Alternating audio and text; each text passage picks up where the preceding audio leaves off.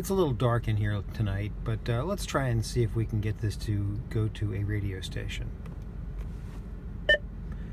FM 93.9. Illinois.